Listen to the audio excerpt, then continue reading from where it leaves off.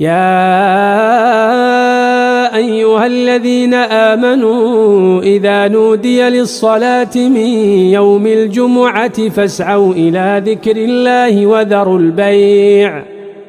ذلكم خير لكم إن كنتم تعلمون.